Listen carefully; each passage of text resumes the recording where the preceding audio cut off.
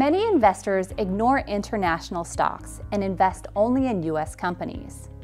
Some investors assume that they can diversify by investing in US-based multinational companies, while others may have a home country bias and believe US companies make for better investments. Fisher Investments believes investing globally in both US and international stocks is advantageous. Why? Because US and non-US stocks perform differently. Investing in both US and non-US stocks can create a less volatile portfolio. As this graph shows, sometimes US stocks perform better and sometimes non-US stocks perform better. But any outperformance is temporary and US and non-US stocks tend to change leadership positions often.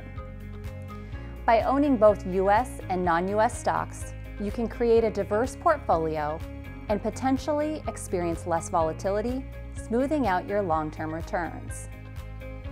Thanks for watching.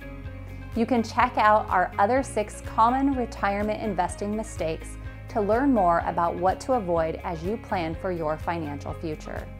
If you enjoyed this video, you can click the subscribe button and ring the bell to be notified when we publish new content. Thanks for watching.